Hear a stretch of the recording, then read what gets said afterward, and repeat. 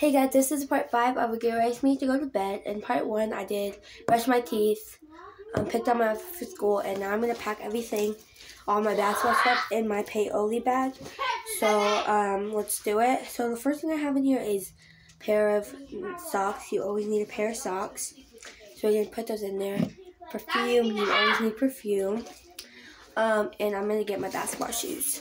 When you go over here, this is most of my, like, basketball shoes, and those are my just my Crocs. But um, we're gonna pick these ones and uh, these ones because you never know if somebody forgets their shoes. So in this pocket, we're gonna put the extra pair of socks and the perfume. We have the tie-dye ones in there, and now we're gonna put these.